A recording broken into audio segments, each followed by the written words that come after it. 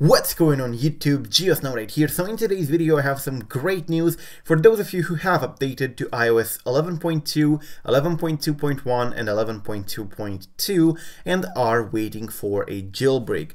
And news are coming from Coolstar. He says in here, quote, for anyone on iOS 11.2.x, stay there. Although a new exploit is required for iOS 11.2.x, most of the patches in Electra will work on 11.2 2.x.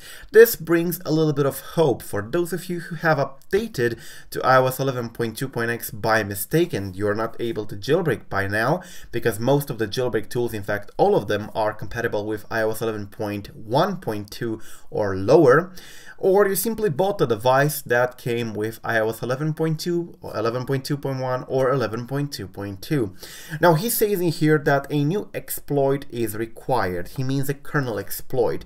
Well, we know that this has already been achieved um, a couple months back actually. In fact, no, it was in uh, December by Alibaba and their Pandora Labs. An article has been posted back then on ModMyi and on 3uTools and, and it claims that Alibaba Pandora Labs jailbroke iOS 11.2 successfully back then. They even put a picture in there with Cydia and Pandora, and they even got a panic log. Now, this is not certain whether this is real or not. Now, uh, 3uTools is a, a real established company. I wouldn't see any point in lying to people about a jailbreak because they're not providing jailbreaks. Well, they do provide uh, bundled jailbreaks and stuff like that, but their tools are legit, so I don't know why they would tarnish their name with some fake jailbreak. And at the same time, uh, ModMy uh, got the article and, you know, spread it. But anyways, what I cannot understand is how they got Cydia running, or at least installing, on iOS 11.2.x if the um, the substrate and Cydia were not updated back then. They're not updated at this point in time, so they were clearly not updated back then.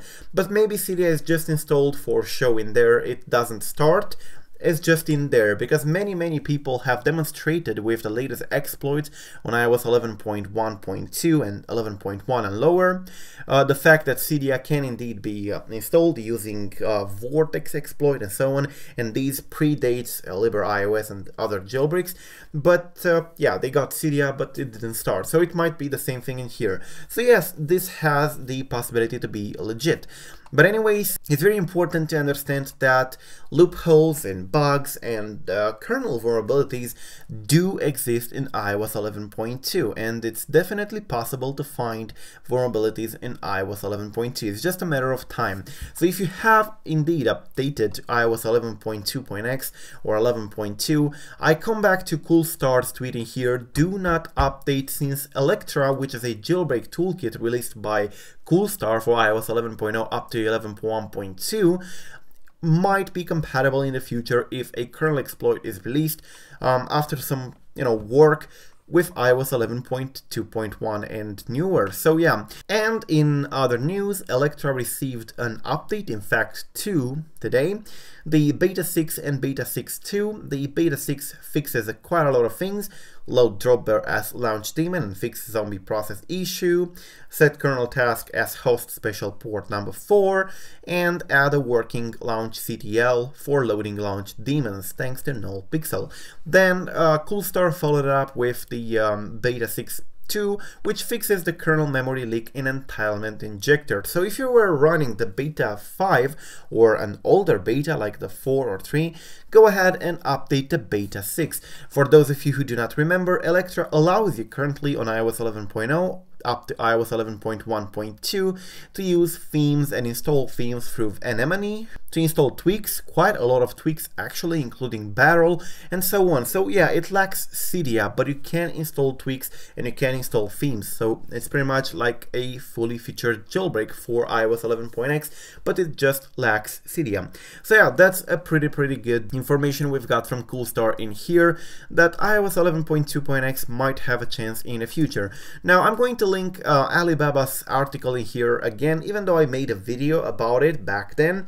uh, it's still a good idea now to, to take a look through it because it might prove useful in the future. Now, I do not think Pandora will release their exploit. They did not release it to this point, so I highly doubt they will release it uh, from this point on. But we might get some help from Google Project Zero again, since um, Beer pretty much got us used to the fact that he is releasing quite a lot of vulnerabilities into the um, the public ground. So we might get the same luck again. So yeah, it's a good idea to pay attention to what's going on and do not update further on. So these are currently the iOS 11.2.x firmware and are currently signed.